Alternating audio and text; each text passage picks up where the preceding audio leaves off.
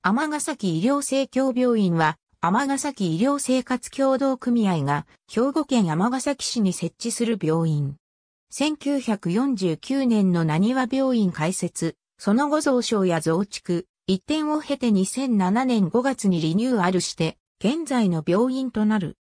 厚生労働省機関型臨床研修病院、NPO 法人卒後臨床研修評価、機構認定証発行病院、公益財団法人日本医療機能評価、機構認定病院。一般病棟を備える。1日平均外来患者数は約303.8人。1日平均入院患者数は約164.0人。社会福祉法に基づく無料定額診療事業を行っている。全日本民主医療機関連合会に加盟。病院の理念により差額ベッド料を徴収していない。病院、事業所紹介。尼崎医療生活協同組合。2020年5月18日閲覧。NPO 法人卒後臨床研修評価。機構認定証発行病院一覧。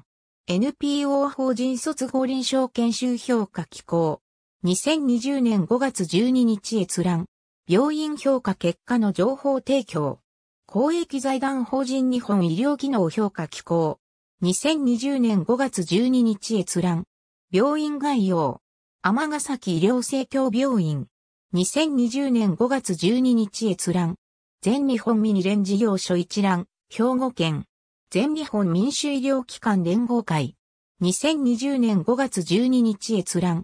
AB、兵庫県医療機関情報システム。兵庫県。2020年5月12日閲覧。